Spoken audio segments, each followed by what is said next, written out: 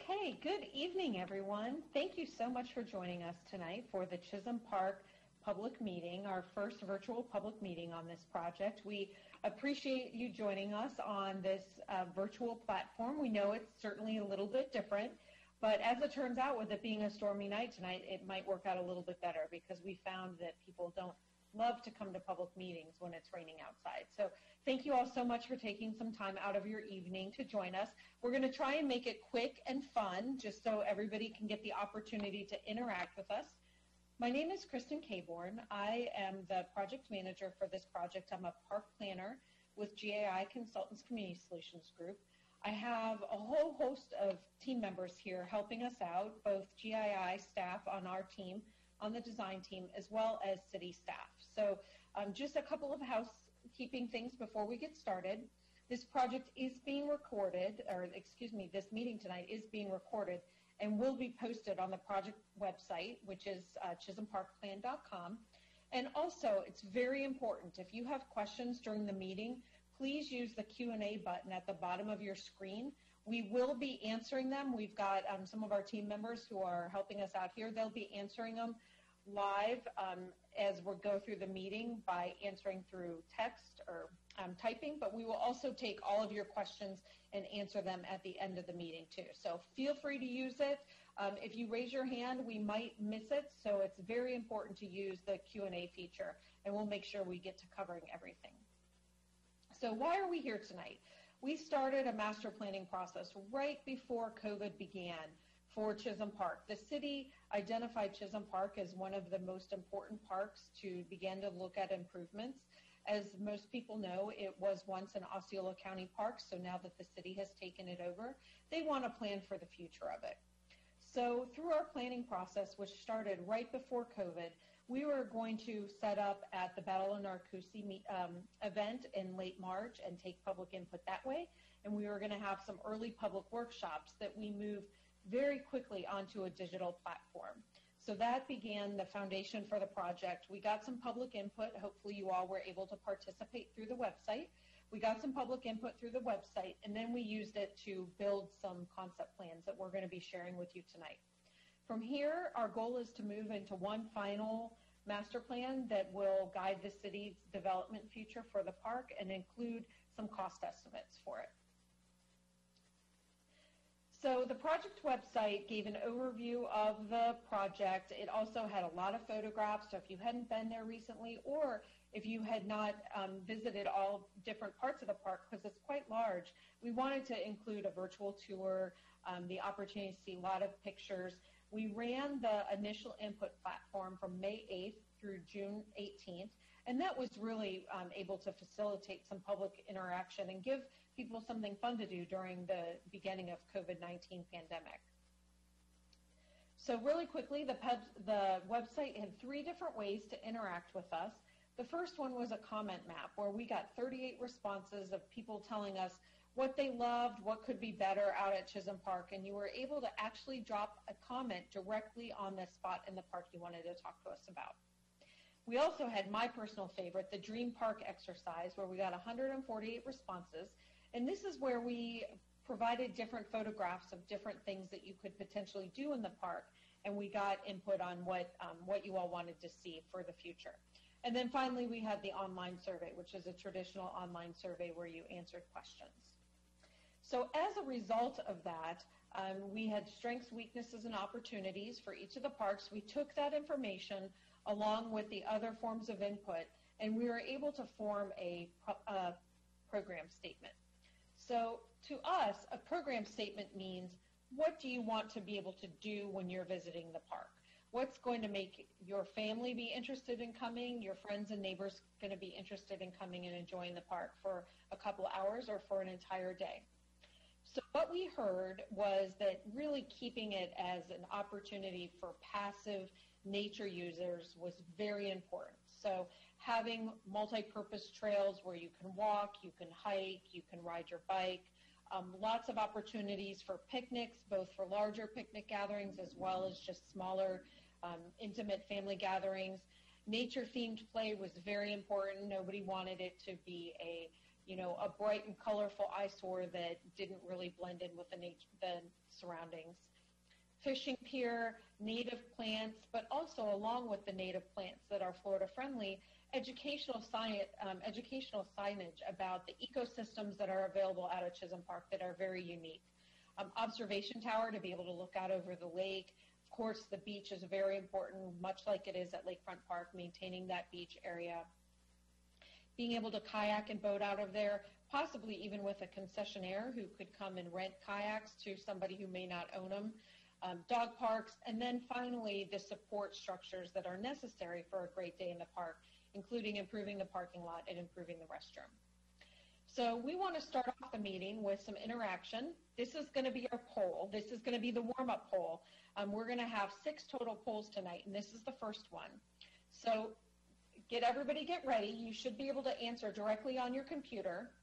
We heard that nature-themed play was important to participants who use the park. So we have three different pictures here. I don't know, Andre, if you can move the, the box off. Thank you, off the screen. What type of nature play do you like? What do you think would be fun? So we're going to open the poll. There's three types. There's earth mounds, climbing rocks, and obstacle, obstacle course.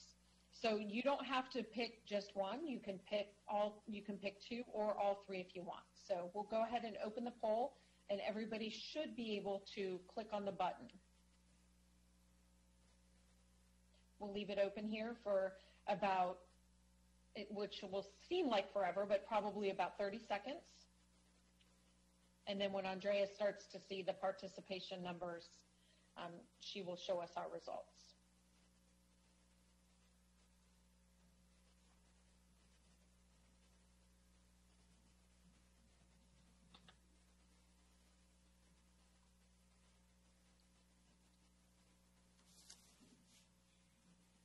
Great. Okay, that's that's really interesting. I love to see that it's really it's pretty mixed on what people are interested in doing. So we'll make sure that we incorporate a lot of different types of, of nature play in Chisholm Park. Thank you. And that will be recorded. All right, so the result of what we of what we heard was three concept plans. Keith Orpeza, who's going to be the landscape architect of record on this project. He's the designer that created these concepts. He's going to run you through them real quick. We're going to start with a broad perspective where you can see the entire site, and then we're going to narrow down just so you can expect it because it's hard to see on a screen the whole site at once since it's so large. We'll narrow it down, and Keith will zoom in and talk a little bit more about the differences in each of the three concepts. So, Keith? Right. Thanks, Kristen, and good evening to everyone. Um, let's take a look at the first concept, and what we're doing is really real sketchy concepts, the big ideas, uh, not trying to get do, too detailed, but really more or less locating different types of activities that you all indicated you might like to see on on this uh, on the park. So as we come into the park along uh, South Lake Drive, the idea is there's the big idea is actually we're splitting the parking. Uh, we're taking away parking off the lakefront and moving it further into the park, as well as taking trailer parking away from the lakefront. So the idea in this one is, the big idea is, is the lakefront is really just for pedestrians and no automobile traffic, if you will. So as you arrive to this park, we located a dog park just outside the entry. So with this parking lot, it would have shade structure, shelters, dog wash, fenced, all the components associated with the, with the dog park. We move into the park. We have, through a gatehouse, boat trailer parking is adjacent to the the, uh, the boat ramp. Then we have the drive for uh, regular um, uses along the entire park instead of just in one location because we have lots of picnic sh- structures and things along the way. So we spread it out. And it also uses the staging area for uh, big events like the Battle of Narcoossee.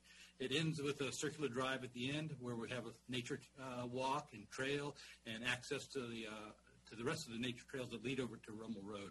So this is con- this is just a big idea of uh, concept A. Concept B is not a lot different other than the idea here is we, we're bringing the dog park internal to the park instead of outside.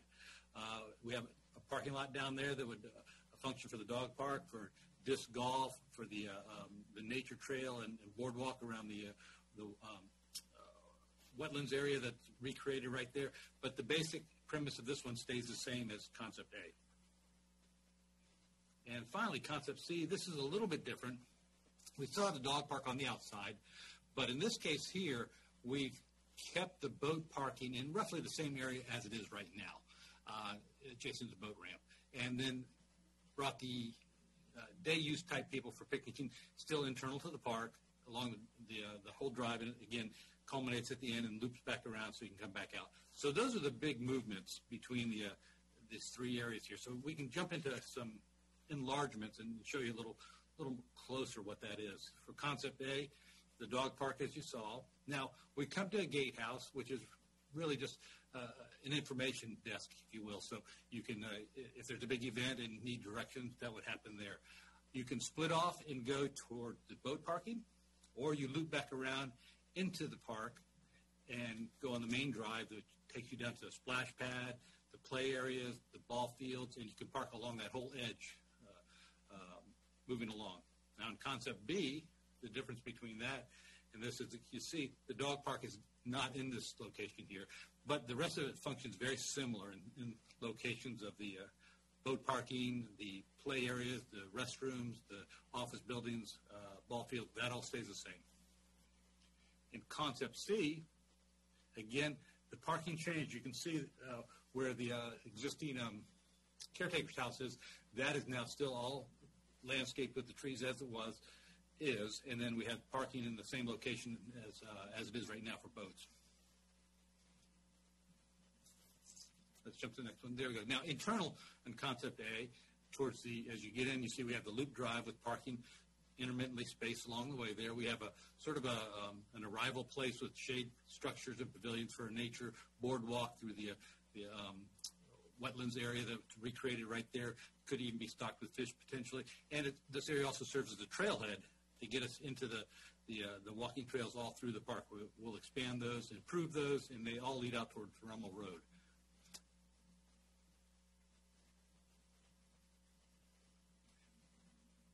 Okay, and this one here, again, the dog park is internal uh, as opposed to the exterior.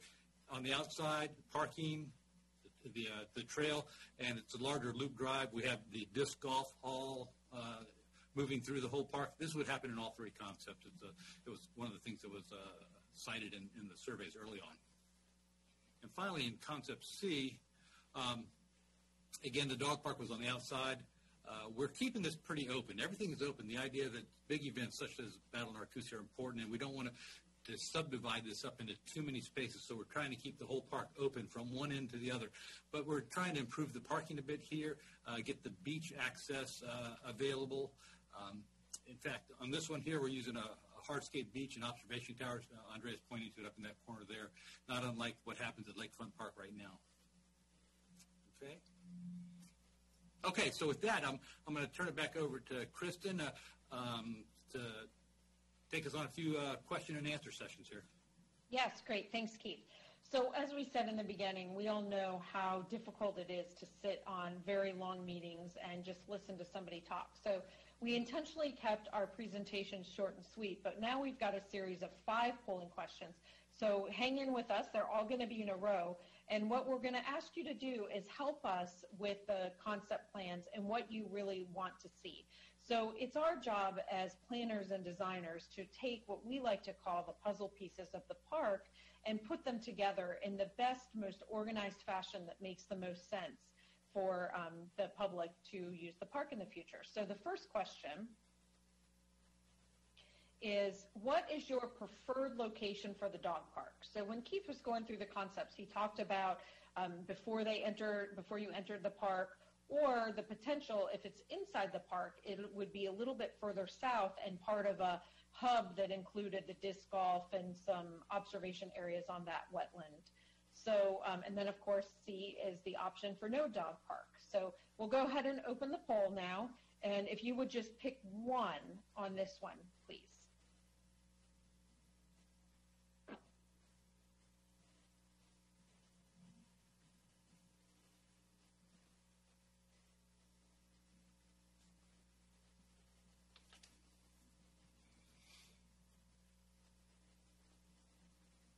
Great. Okay. Well, it looks like we've got some great support for a dog park. That's really helpful to know that the preference is to have it before the entry. Thank you very much for for giving us that giving us that information.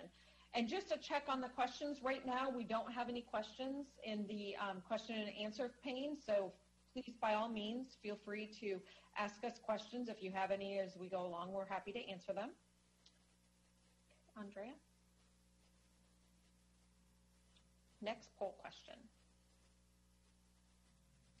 All right, this is a biggie.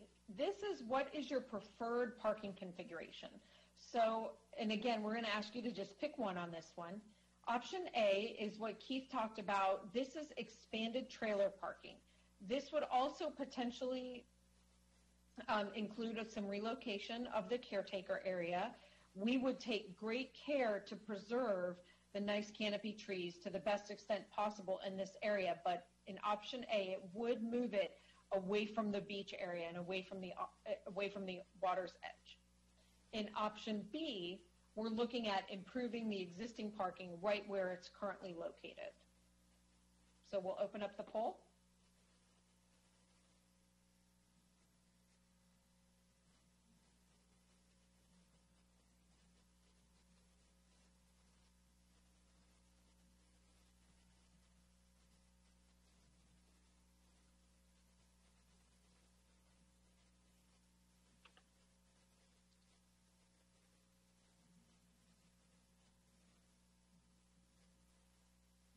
Okay. This is an interesting split. We're going to have to dive into this one a little bit more, I think. Thank you all very much for, for answering that. Okay, next question. This is getting into grassed parking, and grassed parking would be an area that could be overflow for a special event, for a large party, for the movies in the park that have been going on out there during COVID, where we would stabilize the grass so it wouldn't get so mucked up from tires and from heavy rains like we've been having the past couple of days, and it would be more functional for parking. Or um, option B is no grassed parking. That would just be an open area um, with no overflow, but would be open green space for playing. We'll open the poll.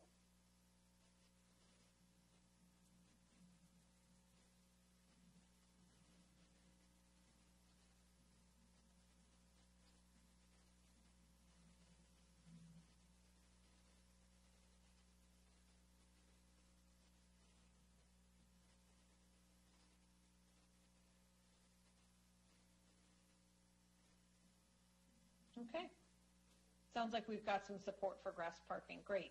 Thank you all.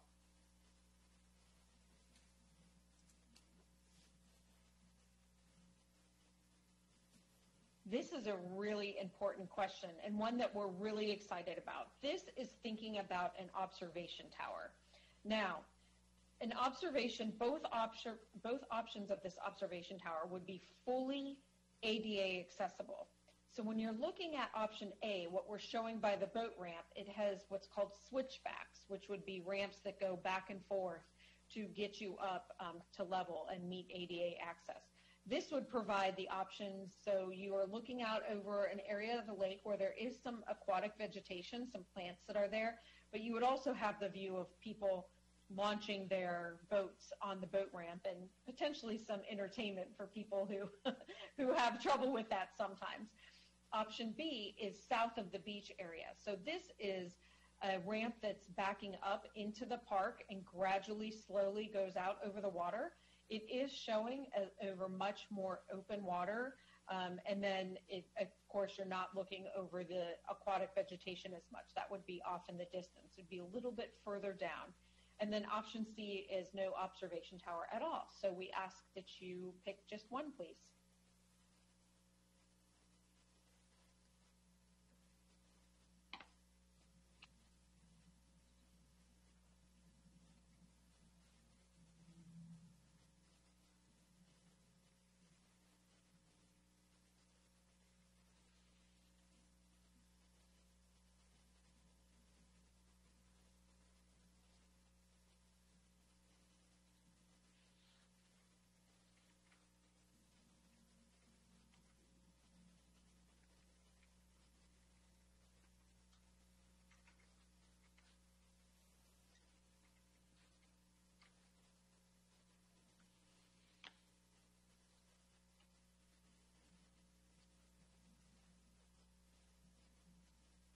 Are we getting votes in, Andrea?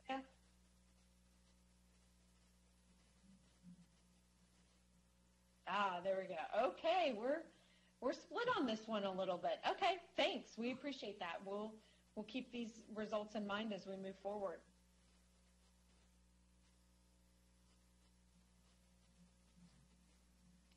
All right, thanks for participating in the polls. We are about done here. I've seen some questions come in. I've been answering them as, as they've come in, but please keep them coming um, because we're almost done.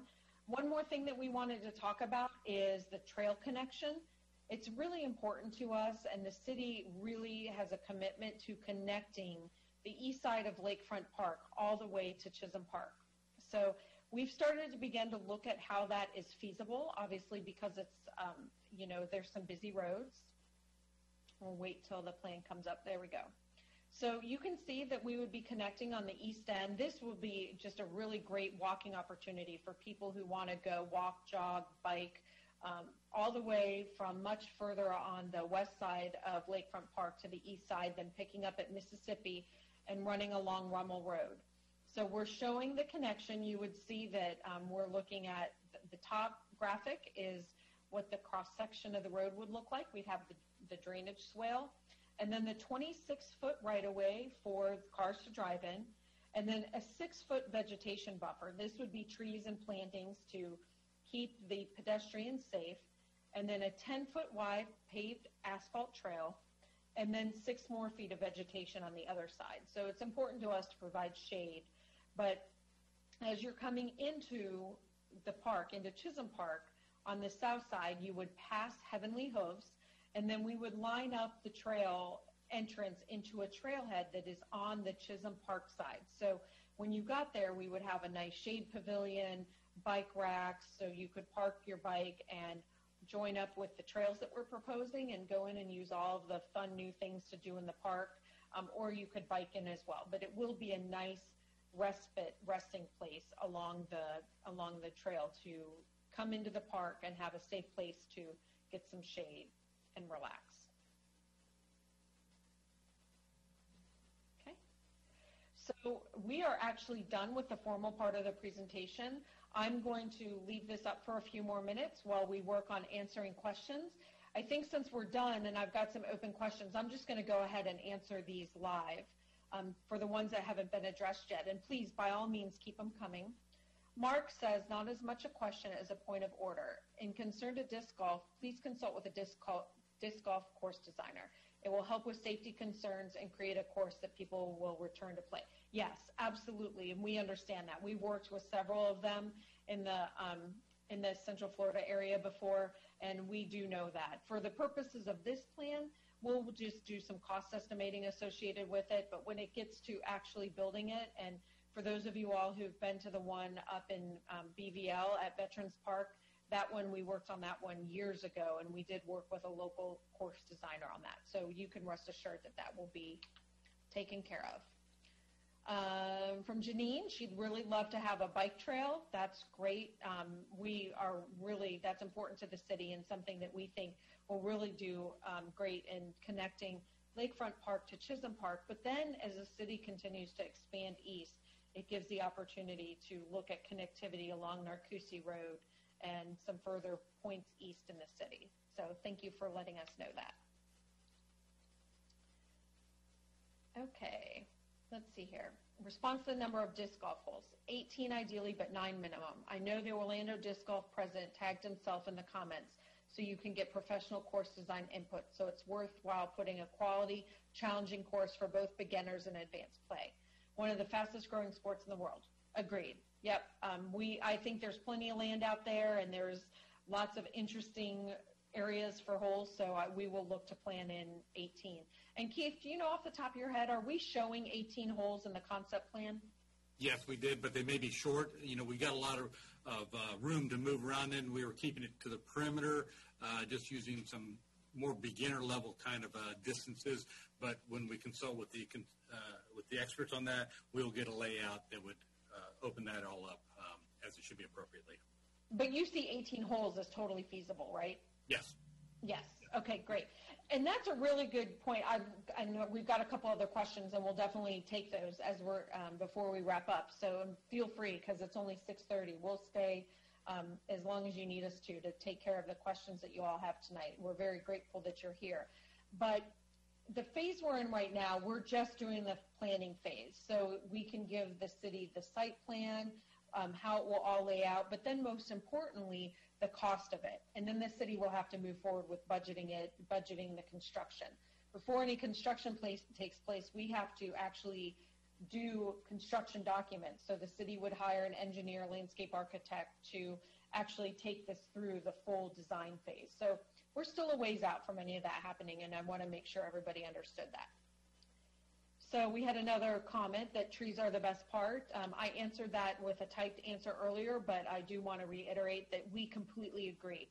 That's what really makes this part this park special, and it provides really a nice nature respite in an otherwise pretty urban area. So we totally agree, and we're very happy to be sensitive to the trees and make sure that the tree canopy is preserved for now and for future generations. Okay, Cindy says, we live on Rummel and are very excited about the bike trail. However, the traffic is of great concern for safety. Is there a plan to manage that in the future? Yes, absolutely. And that's going to be important when we look at entrances into the park that we're lining up with intersections. There's the big bend in Rummel Road, and that's why, um, and Andrea, could you go back to the, um, there we go, where the big bend in is in the road? That's why we have the entrance to the park. If you could arrow, or if you could just kind of take your cursor around it, um, that's why we have the entrance to the park as far east as we do. Because if people, I mean, we know people would never speed, but if people take that corner a little too fast, we don't want to surprise them with a pedestrian who's crossing the street into the park. So we will definitely look at appropriate crossing distances, make sure we're away from any blind curves and that there's plenty of warning for partic- for um, pedestrians and making that crossing because we recognize that. So we'll be when it gets into design, that's something that we'll be really cautious of, and that's the reason why the trail entrance into the park does not line up directly across the street with the intersection of that subdivision over just a little to the west because that sub keep going that's just too close to the bend in the road, and we want to make sure that we're crossing in safe places. So the ball fields would go away? No, absolutely not. The ball field is still shown, um, and it's still part of the plan. You can see it right there on the poll questions, but yes, the ball field um, stays, absolutely, in all of the concepts. Why don't you leave one of those up, Andrea? Pick, pick one of them. Just leave up the big master plan for now. Okay, great. So our next steps, we can leave this one up while we're um, while we're wrapping up here. The next steps will be to take the input that we have tonight. We've still got the website up, chisholmparkplan.com. Um, as we work towards doing the final concept, we will go to the Parks and Recreation Advisory Board um, of the city. We will take all of the public input that we've gotten to date and the draft conceptual plan and cost estimate that we come up with and then um, be wrapping up the project. So I don't have any other open questions. We will hang out. I see we still got some attendees on, so happy to hang out for a little bit longer. And if anybody else wants to type in any questions, we'll take them live. It's 6:32 right now, so we'll stay these, on till about. These results will all be put onto the website, correct? Yes. Yep. All of this will be available on the website, and we will keep the website current with the phase of the project. Yep. So we'll stay until about 6:40 just to make sure no one else has any questions, and um, that way we can make sure everybody gets their answers.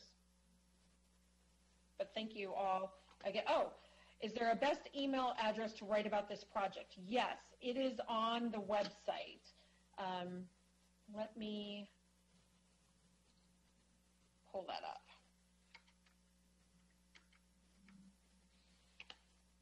You can send input through the website, chisholmparkplan.com.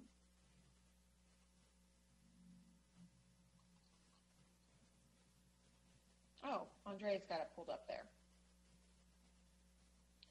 At the very bottom, There's contact us.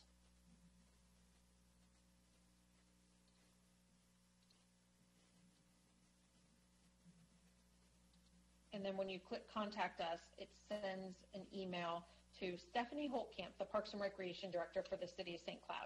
So we will get all of the comments. Stephanie will share anything that comes in. Okay, we have another question that came in. Is there currently access to the trails from Rummel? Um, the trails, I'm not sure which trails you're talking about, Brenton. Are you talking about the trails that are in the park existing right now? I there I don't believe there is. I believe that the way that the fence is, there's not a break in the fence except for for the driveway for Heavenly Hooves. Heavenly Hooves has access to those trails throughout. Yeah, yeah. And So. we'll Continue. So having the trail that can, yes, so um, thanks for typing in questions, Brett, and we're with you here live. Um, it is a new concept to have pedestrian access and a trailhead on Rummel that allows pedestrian access into the park. So, and that's an important distinction. We don't anticipate cars being able to drive into the park from there.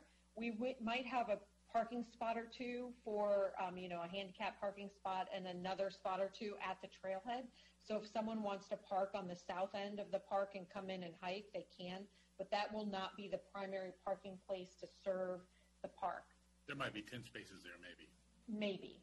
But the trail, there are existing trails in the park right now. It's just that as a, if you're walking in, there's really nowhere to walk along there, and then you're, there's not a, there's not an open access from that side of the park. And if you see right there by the letter O where the parking is um, down towards the end, that will be a trailhead entry into those trails that connect from there all the way over to Rummel. So you park down there versus up towards the entrance to the park. So you- you're right there at the trails. Yes.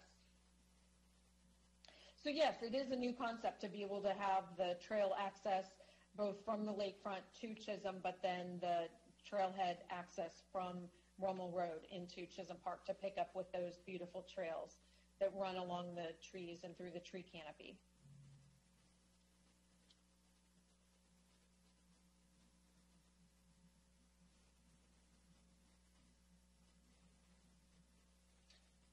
We'll, hang out for about five more minutes. I don't see any more open questions, but again, I just want to really thank everybody for joining us tonight. We know at the end of a workday, especially um, if you've been already on virtual meetings during the workday, it's um, not always something we look forward to, but we appreciate your time that you're investing into this.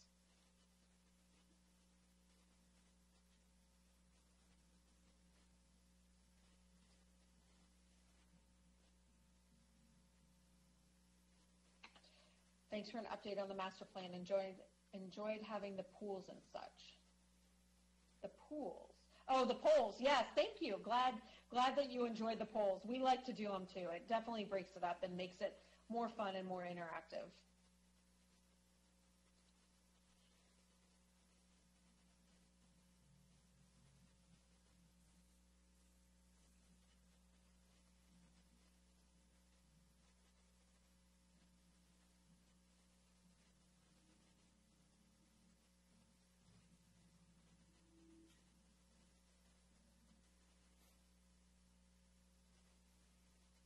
What is the time frame for this project?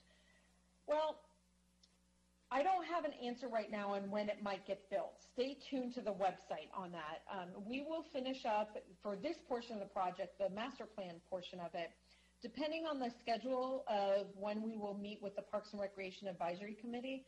We'll start moving towards getting the final master plan, in other words, combining the three concepts that we already have done into one final plan based on the input that we've heard and then we'll work with the city and get to the Parks and Rec Advisory Board. That's probably about a month out from now, maybe six weeks, just depending on when the advisory board meets. So we'll probably be done with this phase of the project in the next six to eight weeks, and then it'll move on to um, the city and when they're able to budget that. So stay tuned on the website for that and when the city thinks that they'll work the improvements and start to think about the final design of the park and construction. Uh, Josh, Joshua, thank you so much for the compliment for the Parks and Rec Department doing a great job. We agree. We think they do a really great job, and not only in planning parks, but once they're built, maintaining the parks. The city of St. Cloud, and trust me, we see a lot of public park systems. They take a lot of pride. The the residents take a lot of pride on their parks, and the park staff takes a lot of pride in maintaining the parks. So. I'm sure they appreciate the compliment.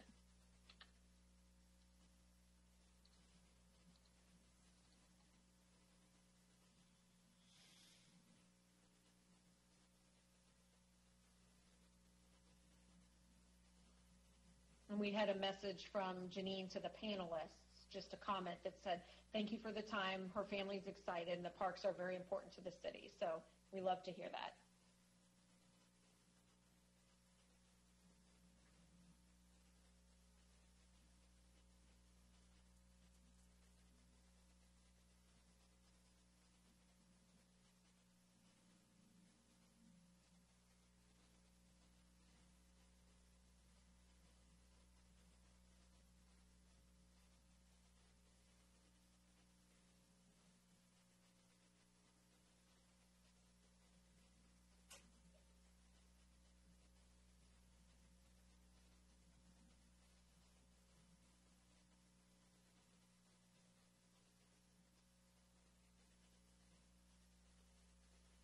Just about one more minute and we're going to wrap it up for the evening.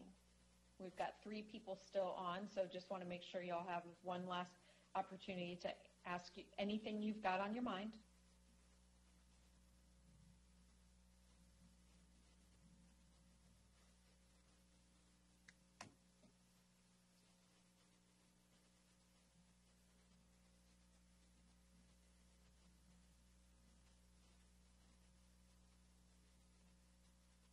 Okay, we are going to go ahead and close it out. Thank you both, um, our last hanger-on, hanger-oners for the for your time tonight, and thank you again to the City of St. Cloud staff for being with us tonight. We appreciate the support, and we'll talk to you soon. Good night. Night.